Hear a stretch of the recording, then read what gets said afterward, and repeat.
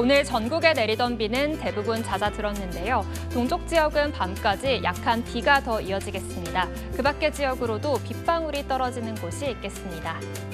내일은 갑작스러운 소나기에 대비가 필요합니다. 오전부터 저녁 사이 중부와 경북을 중심으로는 5에서 40mm의 소나기가 내릴 텐데요. 돌풍과 벼락을 동반해 요란하게 내리겠습니다. 특히 경기 동부와 강원에는 우박이 떨어질 가능성이 있어서 주의가 필요합니다. 내일 전국에 구름 많은 가운데 아침까지 내륙에는 짙은 안개가 끼겠습니다. 출근길 교통안전에 주의하셔야겠습니다. 내일 아침 기온 서울이 18도, 광주 20도 보이겠고요. 한낮에는 오늘보다 기온이 오르겠습니다. 서울은 27도, 광주 29도, 대구는 30도가 예상됩니다.